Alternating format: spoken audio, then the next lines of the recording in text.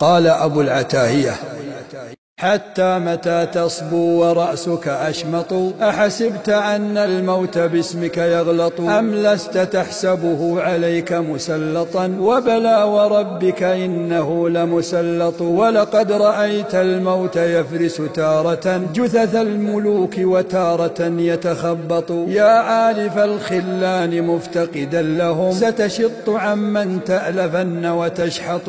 وكأنني بك بينهم واهي القوى نضوا تقلص بينهم وتبسطوا وكأنني بك بينهم خفق الحشاء بالموت في غمراته تتشحط وكأنني بك في قميص مدرجا في ريطتين ملفف ومحنط لا ريطتين كريطتي متنسم روح الحياة ولا القميص مخيط